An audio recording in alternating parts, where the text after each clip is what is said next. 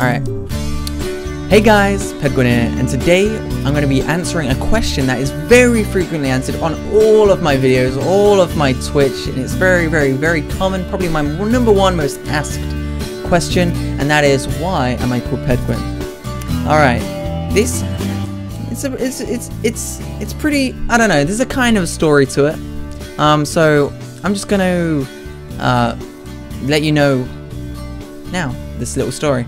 Um, so, when I was very little, I I used I used to call myself like I was like I don't know like eight nine I don't know.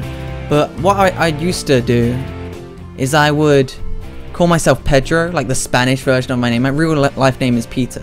So what I'd do um, is I'd be like oh my name's Pedro and then in like online games I'd like call myself Pedro the warrior or something. And then eventually like I'd play like an online game and it would be like too lengthy or too long or something.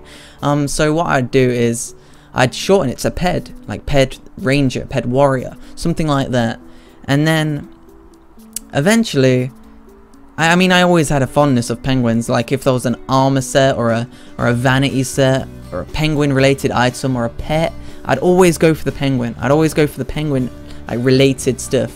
Um, so eventually what happened was it kind of just merged into one thing because not many people knew what PED stood for. They, they just it was just there in my name. People would call me PED and that's like that's like it. But eventually it just merged into Ped Pedguin.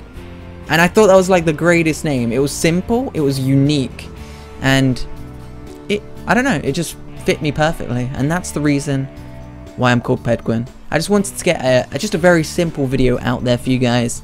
And, and this is it. Just a very simple video. So yeah. Thanks for watching. This very simple video. I'll see you later.